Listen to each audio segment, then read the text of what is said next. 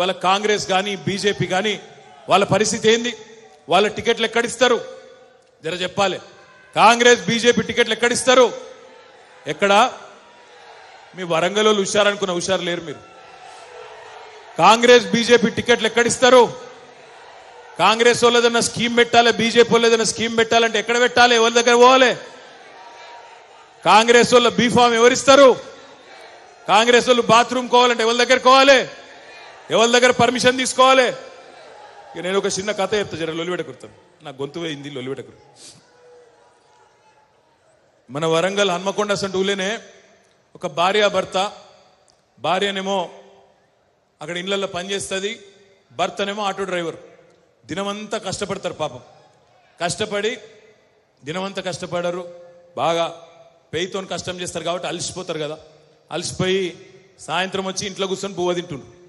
తింటుంటే ఆయన ధన్మని ఆడికెళ్ళి పడ్డదో పైకి వెళ్ళి సూరు మీదకి వెళ్ళి ఒక ఎర్ర తేలు కింద పడ్డది. పడగానే భార్య లొలిపెట్టింది అయ్యో అయ్యో తేలు తేలు తేలు కుట్టి సంపద తేలు తేలు అన్నదట. అనగానే భర్త వెంటనే ఇంకోడు ఇంకోడు అయితే తేలు కొట్టి చంపుతాడు కానీ భర్త బయట ఉరుకుతుండట. ఉరికితే భార్య అన్నదట యాడికొత్తున్నావా ఆడ తేలుంటే అంటే బయట మొగోళ్ళు ఉన్నారు వాళ్ళని తీసుకొస్తా బయటకు వస్తున్నా అన్నాడట కాంగ్రెస్ వాళ్ళు బీజేపీ వాళ్ళ కథ కూడా గదే. బాత్రూమ్ కోవాలంటే కూడా ఢిల్లీకి పోయే ఈ పనికి మాలిన మనకు అవసరమా? మన దగ్గరనే ఉన్నాడు కదా మునగాడు. ఇటువంటి తేళ్ళను కొట్టి చంపే మునగాడు కేసీఆర్ మనకుండంగా. ఎక్కడనో బయటికి పోయి బయటికి వెళ్ళిపోయి పర్మిషన్లు తీసుకొని స్కీములు పెట్టేటోళ్ళు కావన్నా. ముగించే ముందు నేను మిమ్మల్ని ఒక్కటే అడుగుతున్నా. ముగించే ముందు నేను మిమ్మల్ని ఒక్కటే అడుగుతున్నా. ఈ మధ్యన ఒక సినిమా వచ్చింది రంగస్థలం అని. ఆ రంగస్థలం అనే సినిమాలో ఒక పాట ఉన్నది. ఇట్లనే ఎలక్షన్లు వస్తే అరే ఉర్రకరా బై కూర్చో. ఇట్లనే అరే బయటనారే బై బయట. ఇట్లనే ఎలక్షన్ రాగానే ఆగమాగమై ఆగమాగమై మనోళ్ళు ఆగమైతారని చెప్పి ఆ సినిమాలో ఒక పాట ఉన్నది. నాగన్నా ఏ గట్టునుంటావు? తెలుసుకో నాగన్నా అని. ఆ గట్టునుంటావా ఈ గట్టునుంటావా అని పాట. మరి అలా మా హన్మకొండ నాగన్నలు రాజన్నలు రాజక్కలు సీనన్నలు వినయన్నలు విజయన్నలు అందరూ తెలుసుకోవాలి. ఏం తెలుసుకోవాలి? ఇవాళ ఎవలోల మధ్యన ఉన్నది పోటీ?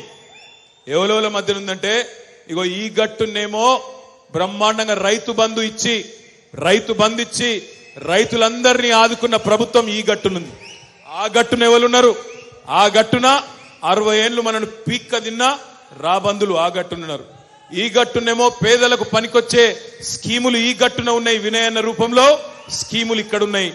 ఆ గట్టునేమో కాంగ్రెస్ బీజేపీ రూపంలో స్కాములు తప్ప ఇంకోటి లేవు ఈ గట్టునేమో నీళ్లు నీళ్లున్నాయి ఆ గట్టునేమో కన్నీళ్లున్నాయి ఈ గట్టున కారు కారున్నది ఆ గట్టున మొత్తం బేకారు వాళ్ళందరూ కాంగ్రెస్ బీజేపీలోనే ఉన్నారు ఆలోచించండి जितने भी हमारे भाई बहन हैं यहाँ पे तमाम भाइयों से तमाम भाइयों से बहनों से मैं गुजारिश करता हूं केसीआर साहब ऐसे शख्स हैं ऐसे लीडर हैं जिन्होंने कभी भी मज़हब को और सियासत को मिला के पॉलिटिक्स कभी नहीं चलाया, कभी कोई पॉलिसी नहीं लाया।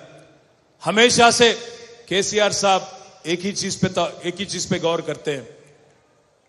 आदमी गरीब है कि नहीं? चाहे कोई भी मज़हब का हो, हिंदू हो, मुसलमान हो, ईसाई हो, जो भी हो। इसीलिए आज पिछले साढ़े नौ सालों में केसीआर साहब के सदारत में तेलंगाना हुकूमत ने 206 आज ज़बरदस्त टिमरिस के स्कूल खोले हैं, जिसमें हमारे बच्चे साठ हज़ार से ज़्यादा बच्चे आज अच्छे से अच्छे तालीम उनको दी जा रही है। आज एक एक बच्चे पे, बच्ची पे एक लाख बीस हज़ार रुपया खर्च कर रहे हैं। खर्च करके उनको दुनिया से लड़ने की ताकत, उनमें दुनिया से लड़ने की हिम्मत और काबिलियत देने के लिए आज ज़बरदस्त कोशिश चल रही है। और दूसरे तरफ़, कभी भी किसी भी दिन केसीआर साहब ने पिछले साढ़े नौ सालों में गंगा जमुना तहजीब, जिसके लिए हमारी तेलंगाना मशहूर है, इसमें कोई नोच आने नहीं दिया।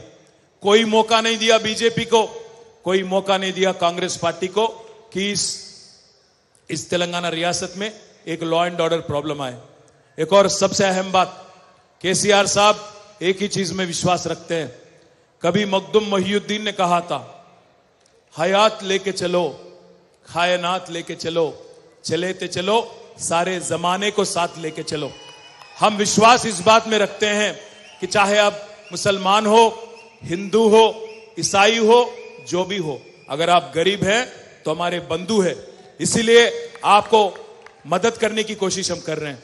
चाहे वो शादी मुबारक हो बतुकम्मा के टाइम पे, दशहरा के टाइम पे, अगर हिंदू बहनों को साड़ी दिया जाता है, कपड़े दिया जाता है तो रमज़ान के टाइम पे तोहफा हमारे बहनों को दिया जाता है। क्रिसमस के टाइम पे हमारे क्रिश्चियन बहनों को, क्रिश्चियन भाइयों को तोहफा दिया जाता है।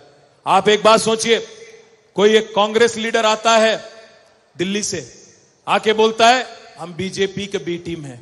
एक बीजेपी का लीडर आता है, नरेंद्र मोदी, वो कहते हैं कि हम कांग्रेस के साथ जुड़े हुए हैं।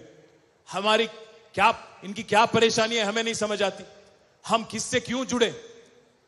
हम ना कांग्रेस के बी टीम है, ना बीजेपी के बी टीम है। अगर हम कुछ हैं तो तेलंगाना आवाम के ये टीम है, नव्वल दर्जा टीम है।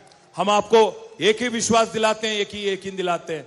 जितने दिन भी रहेंगे सत्ता में, जितने दिन भी रहेंगे हुकूमत में आपकी दया से, पूरी तरह से, पूरी तरह से गरीब को गरीब की तरह देखेंगे और कभी भी मज़हब और सियासत कभी भी मिलाएँगे नहीं।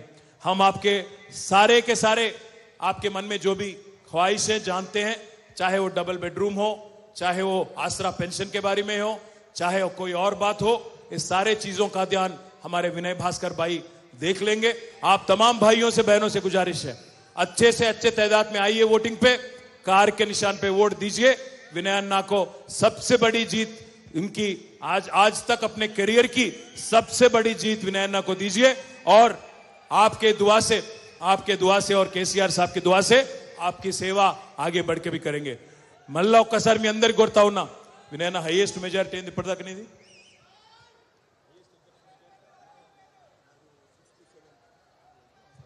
ఇప్పటిదాకా హైయెస్ట్ మెజారిటీ అరవై ఏడు వేలట వినయ్ అన్నది ఈసారి ఆ రికార్డు బద్దలు కావాలి హన్మకొండ రికార్డులో హన్మకొండలో రికార్డులు బద్దలు కావాలి వినయ్ భాస్కర్ అన్న పెద్ద మెజారిటీతో గెలవాలని కోరుకుంటూ జై తెలంగాణ కారు గుర్తుకే గట్టిగా హైదరాబాద్ కినవాడాలి కారు గుర్తుకే.